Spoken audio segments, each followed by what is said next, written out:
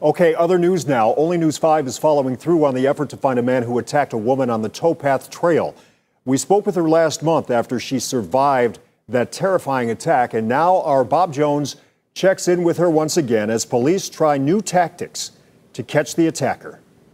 More than 2 million people enjoy the 101 mile long towpath trail each year, but on June 28th, a section of the trail turned terrifying for a 26 year old woman. She was running near Bartges Street in Akron when a stranger grabbed her, knocked her to the ground, and started strangling her. Choked me uh, from behind and he started pressing really hard, really hard. And at that time, I realized he just was a psychopath, that he just wanted to kill me for no reason. She was knocked unconscious, but a doctor who happened to be walking on the trail witnessed part of the assault, scaring off the attacker who is still on the loose. Summit County Crime Stoppers is now offering a reward up to $2,000 for information that IDs him.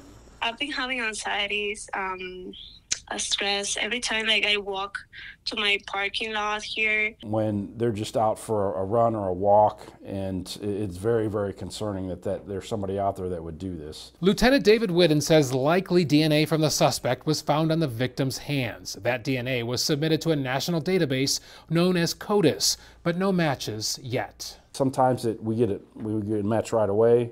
Other times it takes a while for the the system to catch up with the match, to confirm the match. The strangulation happened near this abandoned brick and boarded up building, which has multiple broken windows. The victim believes her attacker came from that building.